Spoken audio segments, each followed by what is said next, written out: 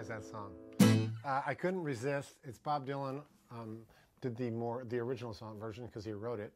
But when Jimi Hendrix did uh, All Along the Watchtower, I think it cracked the world right open. I mean, I remember the first time I heard that lead with the I saw like mountains, you know, castles in the mist. Man, I was like, two writers were approaching. What a great song!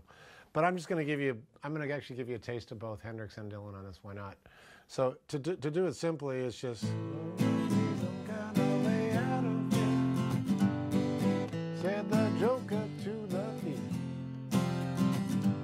It's just A minor, G, F. Now, if you have trouble with F, a lot of people do, they call it the ouch chord. You can do it this way, with your thumb over the top, or you can do it barred, or you can just do a small version like this.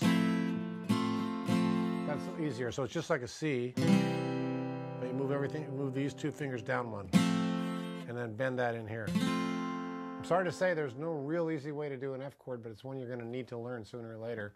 Why not now? So anyway, the Bob Dylan version is just more of a straight.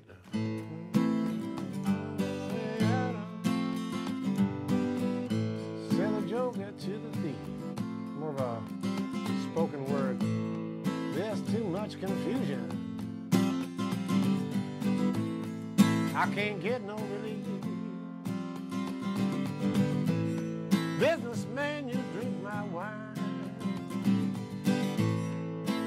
Plowman, dig my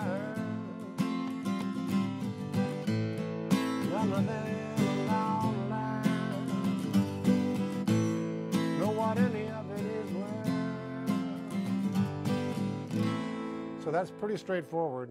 A minor, G,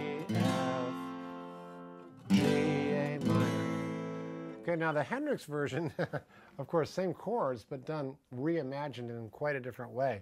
This one, he starts with the G and he pumps it.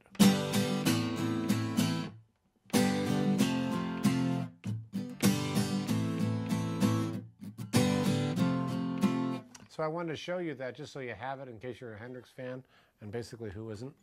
Um,